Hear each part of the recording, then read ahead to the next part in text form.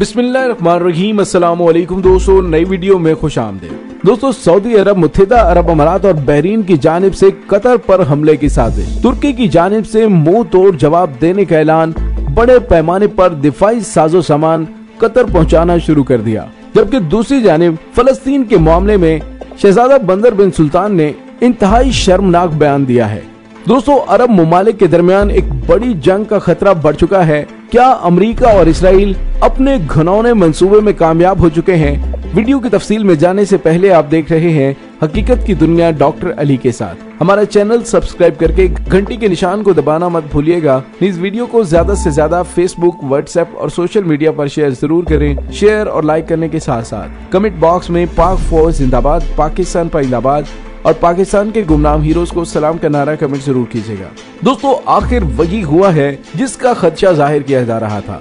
Israel ने अरब ममालिक के अंदर नकब लगाकर उनसे ताल्लुकात बेहतर किए और तमाम मुस्लिम ममालिक के अंदर फूट डालकर आपस में जंग करवा के कमज़ोर करने की साजिश को अमली जामा पहनाना शुरू कर दिया है। दोस्तों, सऊदी अरब मुतहदा अरब अमारात और बहरीन की जानब से कतर पर हमले की साजिश के इंकशाफ के बाद अरब सियासत में एक मरतबा फिर तुर्की को अहमियत हासिल हो रही है, जिसकी शुरुआत अरब मुल्कों ने आज खुद की है। जबकि तुर्की की जानब से बड़ा बयान सामने आ गया है, खत्ते के अंदर एक बहुत बड़ी जंग के बादल मंडलाने लगे। दोस्तों, तुर्की की अफवाज और दीगर हरबी साजो सामान को कतर लाने से कोई नहीं रोक सकता, और अगर सऊदी अरब मुतहदा अरब अमारात और बहरीन की जानब से कतर पर हमले की कोशिश की गई तो खत्ते में बड़ी जंग का खतरा है। तुर्की के रूस से दिफाई मिसाइल एस फोर हंड्रेड की वसूली के ऐलान पर नेटो और मुतहदा अरब अमारात के इतिहादियों ने तशवीश का इजहार किया है। दोस्तों, कतर ने तुर्की को बताया था कि उनकी खुफिया इदारों ने रिपोर्ट दी है कि सऊदी अरब मुतहदा अरब अमारात और बहरीन कतर पर हमले की तैयारी कर रहे हैं। दोस्तों, ख्याल रहे कि 5 जून 2017 को सऊदी अरब मुतहदा अरब अमारात,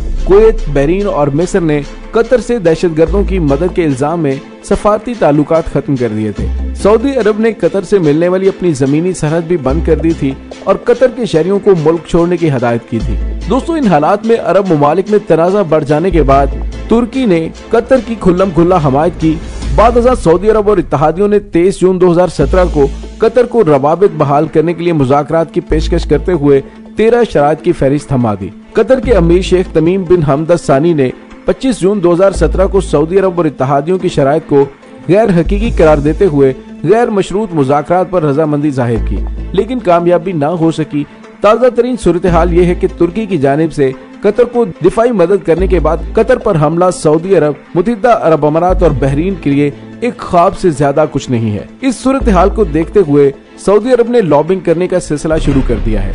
अल अरबिया टीवी को एक इंटरव्यू देते हुए अमेरिका में सऊदी अरब के सबक सफीर और इंटेलिजेंस के सबक सरबरा शहजादा बंदर बिन सुल्तान ने कहा है कि फलस्तीनी काज एक जायज़ और मज़बूत केस है, लेकिन उसका वकील नाकाम और कमज़ोर है। जबकि इसराइल काज एक गैर मुनसिफाना केस है, लेकिन उसका वकील कामयाब है। फलस्तीनी खुद धड़ों में तकसीम है। बंदर बिन सुल्तान ने कहा कि हमने यासिर अरफात को बगदाद में देखा, वो सद्दाम के साथ चहक रहे थे और उन्हें कुवैत पर कब्जे की मुबारकबाद दे रहे थे। उनके इस रवैये से खलीजी ममालिक के शहरियों और बिलखसूस कुवैती भाइयों को बहुत ज़्यादा तकलीफ़ हुई। इसके बावजूद सऊदी अरब ने फलस्तीनी क्यादत के खिलाफ किसी रद्दमल का इजहार नहीं किया था। फलस्तीनियों की सदाम हुसैन की तस्वीर के साथ खुशी मनाने की तस्वीर सामने आई और उस वक्त भी सऊदी अरब ने खामोशी इख्तियार की। हालाँकि वो खलीज जंग के दौरान रियाज पर इराकी रॉकेट गिरने पर खुशियाँ मना रहे थे। उन्होंने कहा कि फलस्तीनी क्यादत तारीखी तौर पर नाकाम रही है और उसकी नाकामी का ये सफ़र अभी तक जारी है। उन्होंने कहा कि मैंने हालिया दिनों में फलस्तीनी क्यादत से जो कुछ सुना है, वो फ़िल्म वाक़ बहुत तकलीफ़ दे और अफसोसनाक है। उनका खलीजी रियासतों की क्यादत के बारे में रवैया नाकाबले कबूल है। उनका कहना था कि फलस्तीनी सदर महमूद अब्बास समेत फलस्तीनी लीडरों ने मुतहदा अरब अमारात के इसराइल के साथ गुजशत माह तय होने वाले अमन माहे को फलस्तीनी अवाम की पीठ में छुरा घोंपने के मुतरद करार दिया था। सऊदी शहजादे ने फलस्तीन पर शदीद तनकीद करते हुए कहा कि मुतहदा अरब अमारात और इसराइल के माबैन माहे पर फलस्तीन की तनकीद बिला जवाज है। शहजादा बंदर ने कहा कि फलस्तीनी रहनुमा रियाज और दीगर खलीजी ममालिक की नस्बत ईरान और तुर्की के मनसूबे पर अमल कर रहे हैं। दोस्तों, जैसा कि मैंने पहले कहा कि शहजादा बंदर खुद भी अमेरिका में सफीर रहे हैं और उनको बहुत अच्छी तरह पता है कि अमेरिका और इसराइल की डील मुसलमानों के ताबूत में कील ठोंकने के लिए होती है। बहत्तर बरसों में इसराइल के साथ अरबों की हर डील ने इसराइल को मज़बूत और मुसलमानों को कमज़ोर से कमज़ोर तर किया है। ताज़ा तरीन डील में भी अमेरिका की जानब से इस बात का ऐलान किया गया कि खत्ते में इसराइल हमेशा एक चौधरी बनकर रहेगा। बंदर बिन सुल्तान की बेटी शहजादी रीमा का 2019 से वाशिंगटन में बतौर सफीर तकर इस बात की भी निशानदेही है कि सऊदी अरब ने अपने अहम तरीन हलीफ और सबसे बड़े और अहम मुल्क में जिस शख्सियत का तकर किया है, वो इंतहाई सोचा समझा इकदाम होगा। दोस्तों चार सितंबर को हमने एक वीडियो बनाई थी, जिसमें ये कहा था कि वज़ीर अजम हनिया की फलस्तीन आमद जहादियों से रबते हुए हैं और इसराइल अरब हुक्मरानों के लिए खौफ की अलामत बन चुका है। अरब हुक्मरान वक्त गुजरने के साथ साथ इसराइल के खौफ के सांप को ज़्यादा से ज़्यादा अपने गिर्द लपेट रहे हैं और ये सूरत हाल उनको कभी भी आज़ादी से न तो ज़िंदा रहने देगी और न ही सुकून से वो मर सकेंगे।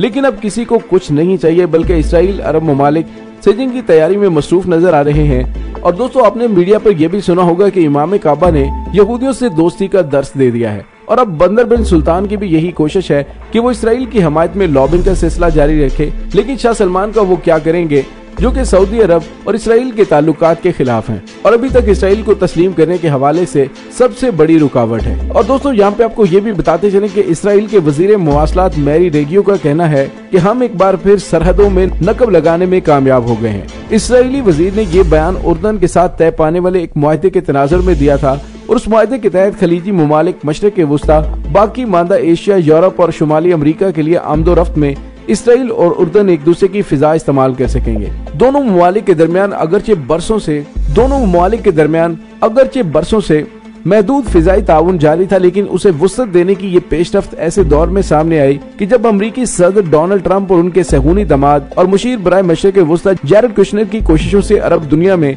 इसराइल को तस्लीम करने और उसके साथ ताल्लुकात कायम करने की हवा चली हुई है। हाल ही में सऊदी अरब ने भी इसराइली परवाजों को अपनी फिजाई हदूद इस्तेमाल करने की इजाज़त दे दी, ताकि वो मुख्तसर फिजाई राहदारी के ज़रिए मुतहदा अरब अमारात और बहरीन आ जा सके। इन दोनों खलीजी ममालिक ने अगस्त और सितंबर में सहूनी रियासत को तस्लीम करते हुए उनके साथ ताल्लुक कायम किए हैं और दोनों ममालिक की सरकारी न्यूज़ एजेंसियों की वेबसाइट पर आए रोज इसराइल की मिधा सराई में रिपोर्टें शाया होती रहती हैं, जो उनके इस दावे को गलत साबित करती हैं कि उन्होंने सेहूनी रियासत के साथ अमन माहा कजिया फलस्तीन को कुछ फ़ायदा पहुँचाने के लिए किया है। अमरीकी सदर अपने एक बयान में कह चुके हैं कि मजीद पाँच ममालिक इसराइल को तस्लीम करने वाले हैं।